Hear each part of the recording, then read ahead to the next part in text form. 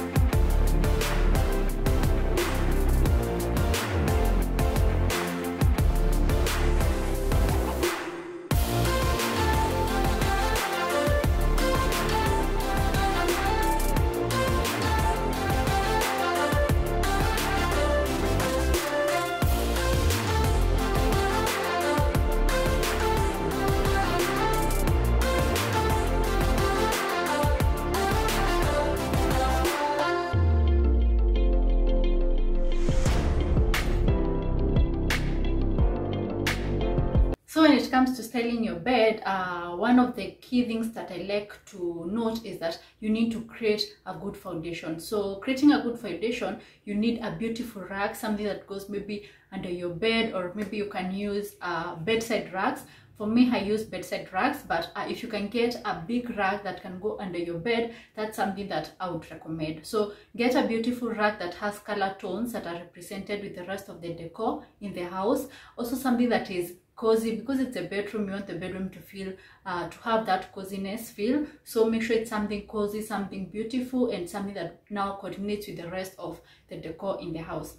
And then when it comes to my bedding i like to put to have most of my bedding in a neutral color and then just decorate now with the rest of the pillows. So mostly you find my duvet cover my some of the pillows my my bed sheets are in a neutral color. And then i bring in a bit of color now uh, with the with the decor pillows that I have on the bed. Uh, for me, I'm more of a Scandinavian girl, which means uh, lots and lots of neutrals and just a small pop of color. So I have lots of white going on and just and then just like a small pop of pink in the house. And I've made sure that that color tone is represented with the rest of the decor or is spread out with the rest of the decor that I have in the house. So that's uh, one tip then uh, another tip is if you have a duvet and now you need a duvet cover i would say uh, make sure you pick a duvet cover that is the same size with your duvet. That is if your duvet is 5 by 6 get a duvet cover that is also 5 by 6 don't go small on size or don't go big on size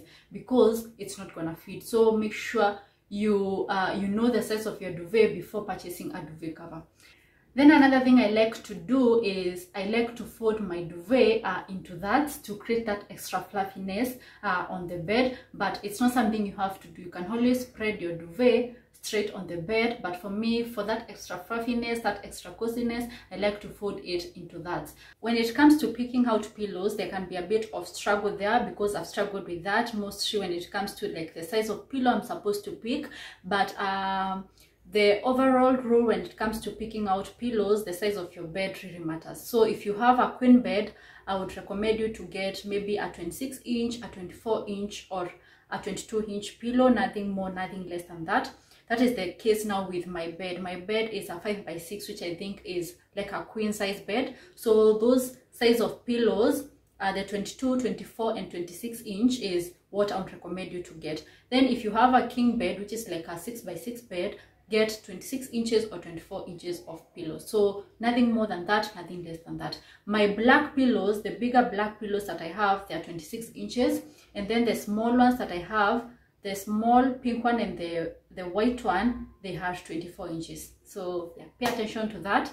Uh then the size of your bed determine the size of the pillows that you pick then to like give that final touch on the bed i like using throw blankets. And when it comes to throw blankets it's something that adds texture. It also gives that coziness on the bed so don't skip on that. And uh, this is the part where i also like to play with pattern with color but still uh, noting that i have to bring in throw blankets that also color coordinate with the rest of the decor in the house. Mostly your pillows because throw blankets are thrown on your bed. So you want to make sure the colors that are on the throw blankets are also rep represented with the colors on the pillows. Maybe if you have a frame over your bed then uh, you can also try and blend that with the throw blanket. But if you don't have try and just blend it out with the pillows that you have on your bed. So i also like to layer my throw blanket in twos. So i have uh, one in a dark color that goes with the dark